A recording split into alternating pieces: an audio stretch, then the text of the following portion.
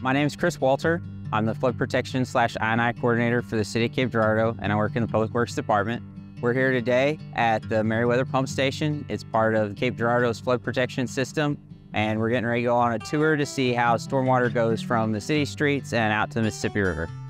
So rain will fall in the grass, on the pavement, in the street, and it'll go to a intake box, which is where it starts entering the storm system itself.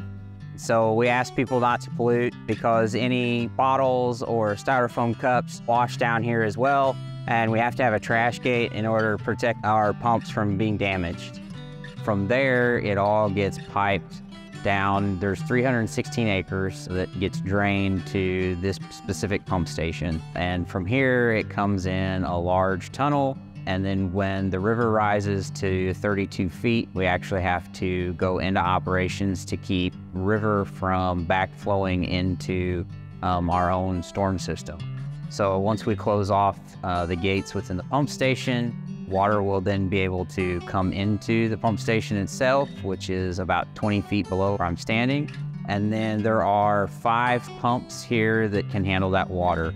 We have two pumps that are submersibles, which handle the base flow. So that's basically any groundwater that continues to drain whenever the river's up at flood stage. And then behind me, we have three storm pumps. These are 200 horsepower pumps. They uh, can manage about 20,000 gallons per minute. So when we have a heavy rain and all the pumps are running, this pump station moves 67,000 gallons per minute. This is our control center.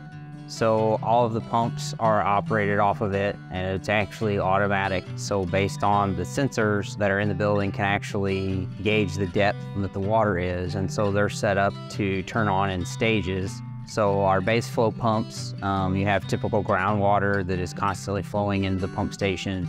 Uh, they'll kick on and run in cycles. Um, it's usually several hours um, before they'll kick on. But once we have a heavy rain, that's when our storm pumps start kicking on. And so as the elevation of the water within the pump station begins to rise, another pump will continue to kick on until all the pumps are running. From here, it gets pumped into a discharge chamber, which is a big concrete structure right behind the pump station itself. So now we're here in the discharge chamber or the wet well.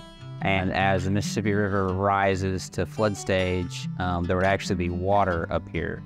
So what happens is, is as the river continues to rise, once we close um, the gates at the pump station, uh, the pumps will actually pump water into this. And so the flap gates prevents any water in here from flowing back into the pump station. So once this fills up, um, after a pump kicks on, it will then settle and equal out with the Mississippi River so we don't actually pump water into the Mississippi, it equals out. So an interesting fact about the discharge chamber is in about 1958 when these were built, they actually used two by sixes to make forms for the concrete pour because we didn't have uh, modern concrete forms like we did today. So that's why you see the appearance of wood grain planks within the concrete. So one other thing to note is that both the Merriwether Pump Station and the Mill Street Pump Station have their own generators. So in the event that the city were to lose power and we're above flood stage, the pumps can continue to run. So this concludes our tour of the pump station. Thanks for watching and hopefully now you understand the importance that the pump station has for our flood protection system.